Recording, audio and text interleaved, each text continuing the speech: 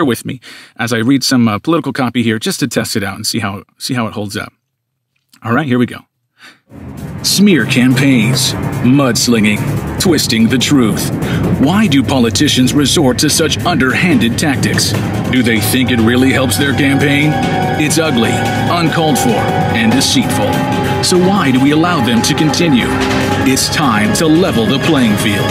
You want our vote? Then focus on the issues that affect all of us.